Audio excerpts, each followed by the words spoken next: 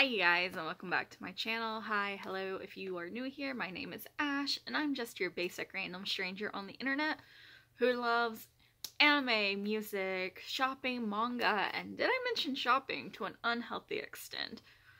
So, I, I didn't live up to my 2022 goals, guys. I really wanted to upload on this channel more and I really wasn't consistent. I don't think I'll be consistent in 2023 either, but I do like to film these videos and put zero effort into it because I'm not even going to edit this video. I don't even know if I'm going to make a thumbnail. But 2022 was very busy for me, especially towards the end of the year. I did actually end up moving cross country back to where I was originally from in Georgia. Well, not where I was originally from. I actually live about across halfway across the state from where I originally grew up. But I did relocate for work. I look like a hot mess and I don't really care, but I've been here for about four months now and I still haven't fully unpacked. Uh, it's a bigger space with less storage, so I'm struggling to display all my anime and manga and anime merch and shit like that. So, hold on. Okay, my hair, my hair is gonna have to go up. Actually, my hair's not gonna have to go up because this is not an actual hair bow, but we'll make do. Uh, my hair is going through it. I don't have a hair salon near me that I actually like, so I'm letting the blue fade into brown. And yeah, okay, that's everything I have to go through, just like update-wise. Sorry, let me quit fucking with my hair. Uh, so with this video, I would at least like to make end of year, beginning of year videos to go over my collections, to maybe look over what I have brought in in the past year. So A, I can just have my whole collection somewhere documented and I don't have to physically write it down because I'm lazy. And B, it's kind of to start holding myself accountable because I do let my spending get out of control when I feel like my life is spiraling out of control and I feel like I have no control. So I overspend. And don't you love So I really would like to hold myself accountable for that. So we are in a terrible filming spot. I'm literally sitting on the floor in front of my bedroom door. You can see all of my shoes. Well, not all of my shoes, but a good portion of my shoes. So yeah, um, before we do a welcome back to this channel video, maybe I'll do that, maybe I won't, who knows, because I don't even plan to edit this. I have one decent sized tote full of manga I need to show you guys so I can display it or box it underneath my bed or box it up into my closet. And then I also have another big, huge box, cardboard box that still hasn't been unpacked of manga that I do need to show you guys and like just get it documented so I can stash it away and hold myself accountable to actually read it or not keep it in my collection if after I read it I don't like it. And then I have another box in the living room that I need to show you guys because yeah, space is limited here and I can't seem to quell my spending. So let's just go through this. So this is pretty much um, some books and some manga that I have picked up since April of 2022. I do have some books in here. I'll show you some of the books I got. Maybe I'll show you more than just these books, but if I can find them. Because I have been trying to get back into reading as of late. And um, I will say the one bad thing about where I live now is they don't have a good library system and the online library that they offer isn't the best. So I will be buying books if I like them and just struggling to put them somewhere. So the first three books I have here are actually a kid's picture book, but I read them in KCMO. I really liked them. And there was a third book that came out, but the library system here didn't have it. So I just said, you know what, I'll buy all three of them. Some of these are kind of rough, but I got them for under $5. So I have the Tea Fest, the Tea Dragon Festival super cute children's book. And then I think the Tea Dragon Society is the second one in the series. And then the Tea Dragon Tapestry is the third one in this picture book series. I really do like it. It's a cute, wholesome story. It has some LGBTQ plus rep in it, and I am always looking for a way to put more LGBTQ LG oh my gosh LGBTQ plus rep into my collection. And who knows, maybe I'll give them away someday, maybe I won't, but I do enjoy these stories, so I'm glad to have them in my collection. And then these are going to be very out of order because I just threw them into this tote because I needed them out of my living room at the time. And everything in this tote has been items I have collected since I've moved back to Georgia. So the first item I have here is the Tokyo Revengers Omnibus Edition in English, and this is volumes 3 and 4. And then I have a Junji Ito to add into my collection. I have read this. This is Black Paradox. I love Junji Ito, so I will constantly collect his work. And then um, I have this manga called Boys of the Dead, which is a zombie BL. Uh, I am constantly looking to add more BL and Yuri into my collection. or actually just any kind of LGBTQ plus rep into my collection. And then the next one I picked up is Be Very Afraid of Kanako Inuki which is a, a horror mangaka. So this is they're like a staple in the horror genre, so I'm very interested in reading this one. And then finally, I picked up The Summer You Were There, which is a Yuri romance. I have not read this one.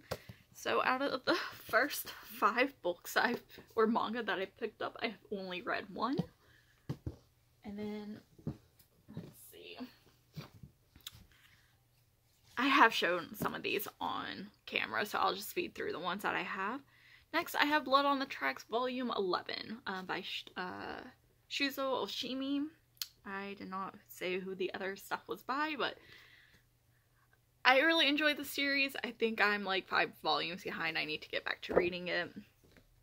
And then I have um, Volume 4 of Seaside Stranger by Kii Kanna. Um, this is a very aesthetically pleasing cover, and these have been cover buys. It is some kind of yaoi romance, and I have the first four volumes. I have not read them, and I'm still tempted to buy them. Come on, come back into focus. There we go. Sorry if I was out of focus. And then I next one I have is Blood on the Tracks Volume 10 from Shuzo Oshimi. I have not read this volume. I do need to dive back into this series. And then I picked up Until I Met My Husband, the manga. This is a true story by Ryusuke Nanasaki, and the art is by Yoshi Suz Su Suke Sukezuki. Oh my gosh, I'm sorry. I have read this. This is very nice. It is a memoir about a gay man and his rights to get married, and yeah, I really like this. And then I have shown this on my channel. It is Onward Towards Our Noble Death by Shigeru Mizuki. I have not read this one. That was a Christmas present for my brother last year. And so out of out of this stack of five, I have only read one. I'm on a roll. I will say my manga reading has slowed down quite a bit. I need to get back into it, but I've just been struggling when I'm not struggling. Anyways, the next manga that I picked up is Blood on the Tracks Volume 9 by Shuzo Oshimi. I have not read this. And then I picked up Jose and the Tiger and the Fish uh, by Seiko Tanabe, and the art is by Nao Emoto. I own the movie, I own the light novel, so I picked up the manga because Eve done two of the songs and I'm a big Eve fan, so I just wanted to have in my collection. And then finally, I picked up Anti-Romance Volume 1. This is a slow burn friends to lovers. I have read this and I am very interested in picking up Volume 2 whenever it comes out. And then the next item on my list is A Man and His Cat Volume 7. I have not read this volume, but I do love this series. It's very cute, very wholesome. And then I picked up the collector's edition of Dissolving Classroom by Junji Ito. I have not read this edition, but I do have the paperback and I have read it and I do enjoy these stories. And then finally, I picked up Nights with the Cat Volume 2. I have read this. This is just a wholesome story about a guy living with his sister and his cat and the nights he go through. Super cute, super wholesome. I adore it. And then next I picked up Drip Drip by Paru Itagaki, who is the mangaka of Beastars. I have read this, but I read this online. I do enjoy this story. It is about a girl who can't have sex, but her nose bleeds a lot. it's like all I picked up from the story when I read it. I do need to read it again. And then finally, I picked up No Longer Human, the complete edition by Usamaru Furuya, and the original story is, of course, by Osamu Dazai. I really, really love No Longer Human. It's one of my favorite stories. Um, I used to get this every year from the library, but they put it in an omnibus, uh, omnibus collection, and I did not hesitate to pick it up. So I have theoretically read this, but I have not opened this volume. So I guess out of this stack, I think this one I'm doing pretty decent with. I've read two out of four, so we're getting there.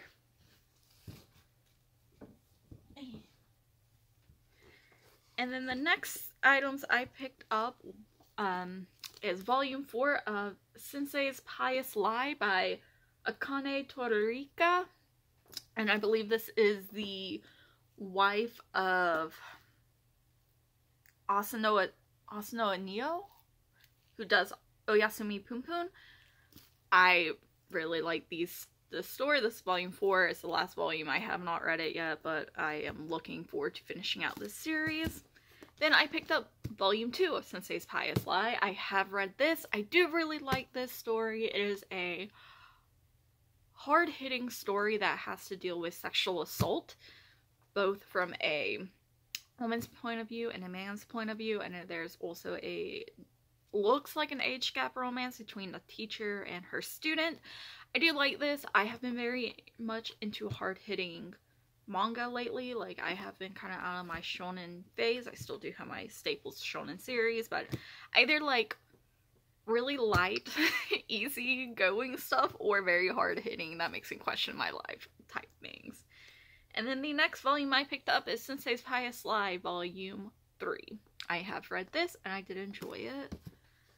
Um, the next thing I picked up is Monotone Blue by Nagabe. Uh, this is a gallery ro romance about uh, anamorph anamorphic animals. I think that's the word. Anyways, it's about a lizard and a cat. It's cute. Nagabe is kind of a weird mangaka, but I still find myself constantly going back to his yaoi romances. And the back of it literally says Animal Boys in Love. I don't know what that says about me. I don't want to dive into that. Um, the next item I picked up is a manga called Rabbit Game by Miyoshi. I have not read this, but it looks like, um, it's by maybe a smaller mangaka, and it's short. The cover is pretty, and I just really like the synopsis. I guess we have some time. I am flying through this. High school sophomore Kiritani Toru is perplexed by, by Inaba, his classmate of two years. Have you ever eaten a dead rabbit? Her sentence filled with hidden meanings and her behavior playful and childlike. Their mutual friend Kawamoto claims her words are meaningless. One day Kiritana receives a certain game from Inaba. Since that day, he's been haunted by strange dreams. Are they real or fake? Dream or reality? Or perhaps they're simply memories of the past. So, it sounds interesting. I'm looking forward to diving into this one day whenever I eventually pick it up. The art is kind of rough, but that's okay. And then finally, I picked up volume 32 of My Hero Academia in English. My Hero Academia is one of my staple series. Even though I have fallen out of, I don't want to say I've fallen out of love with it. I haven't been keeping up with it, but I still do buy, buy the volumes because I would at least like to round out my collection, even if I haven't read it in a while.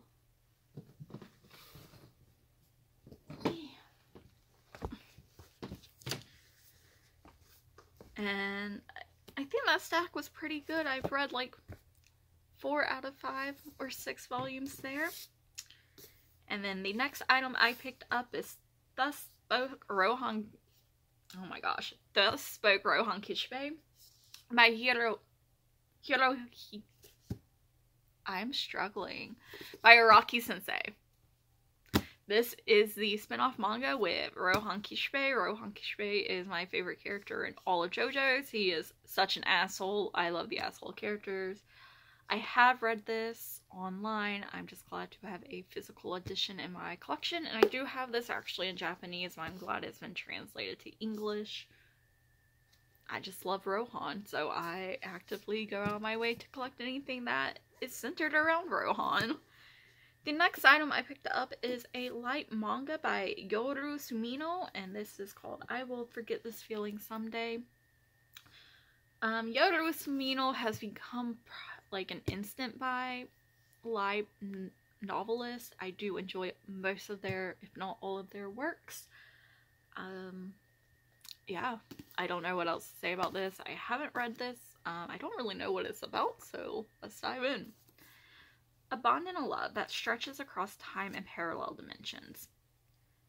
Suzuki Kaya lives an everyday, ordinary, boring life.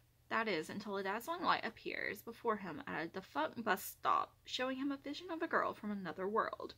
From that moment, Kaya's life changes as they strive to find ways to meet one another from across dimensions and maybe even fall in love. Okay, so it looks like it's gonna be some kind of romance. We'll see. Their romances kind of make me cry, so I'm down for that shit. The next thing I picked up is a book called Mermaid Town, and this is a collection collection of Tomohiro Sugawa. It looks like another like not big mangaka. I just really like the way this looks and like it's a manga with sprayed edges. The art style is um unique. Like nobody has faces in this art style.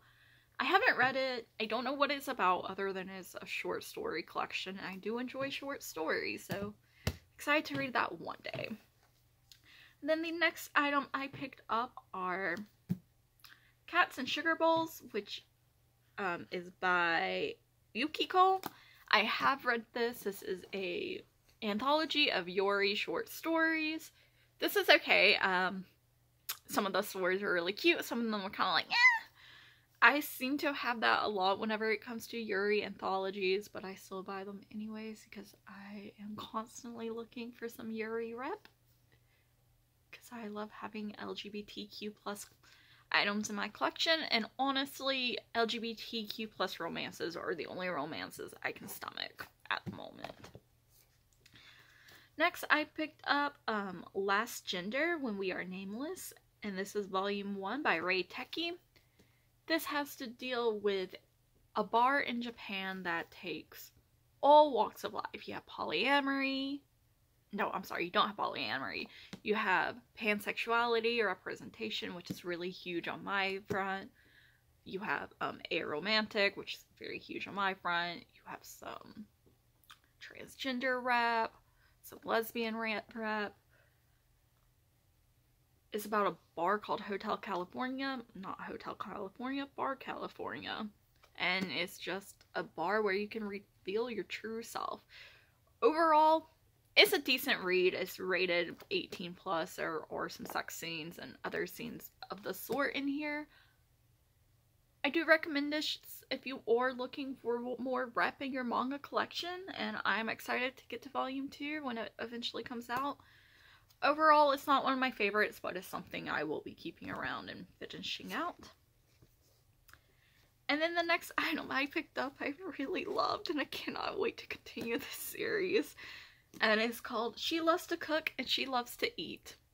It is a wholesome, fluffy, somewhat slow burn uh, Yuri romance about an office woman who loves to cook for her neighbor because her neighbor has a big appetite and it seems that they are bonding and falling in love through the love of food and just caring for each other. It's super cute and I really do recommend this. It's such a fun read and I can't wait for volume two.